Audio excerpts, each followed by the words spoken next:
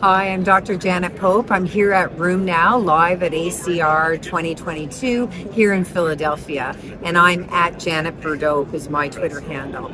I'm enjoying the meeting and I wanted to talk about Get the Skinny on Bimmy.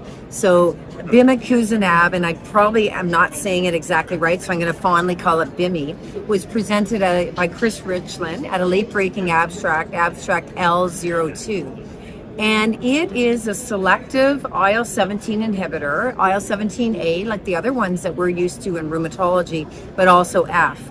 And this was a, a randomized trial of a large amount of people, active psoriatic arthritis, bio-naive, and they were randomized to either Bimmy or to adalimumab or to placebo. And the bottom line is it was highly effective, very effective on skin, and really great on joints as well.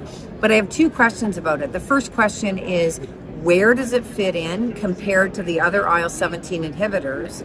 And I guess the next question is, what is an IL-17F anyway? What what is that adding value for um, uh, from benefit or changes in safety? So there was a little bit of Candida, nothing uh, disseminated. So it looked like the other IL-17s in my mind, but I think we want to get more skinny on Bimmy over time. Thank you.